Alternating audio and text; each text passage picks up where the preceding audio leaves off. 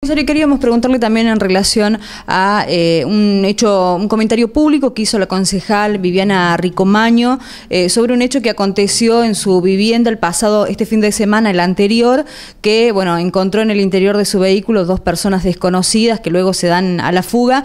Y lo que la señora este, Ricomaño ponía de, manifiesto es que llamó a la policía a las ocho y media, eh, al no ir volvió a llamar a la policía a la, perdón, primero la llamó a las siete y media, repitió el llamado a las ocho y media, y bueno, quien la atiende dijo que desconocían que habían llamado, y que bueno, la policía llegó recién a las 11 menos cuartos. ¿Qué tiene en relación a esto y por qué están ocurriendo estas cosas dentro de la dependencia policial? Perfecto. Eh, primero y principal, te comento que fue un error nuestro, aceptable.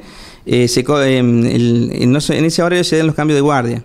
O sea, es más o menos aproximadamente a las 7. Quien tome llamada, lamentablemente se equivoca la calle.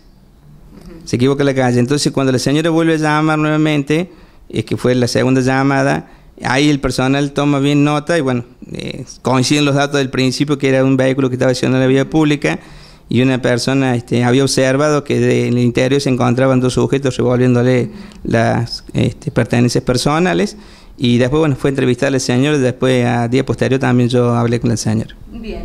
¿Cómo se puede solucionar esto? Porque la señora Ricomaño tuvo la posibilidad de volver a llamar, pero ¿qué hubiese ocurrido si este, había un único llamado, una única posibilidad de, llamar a la policía y, que no se hubiese hecho presente? Claro, por eso te digo, aceptamos el error que nos equivocamos de calle, bueno, se dio ese interín de cambio de guardia.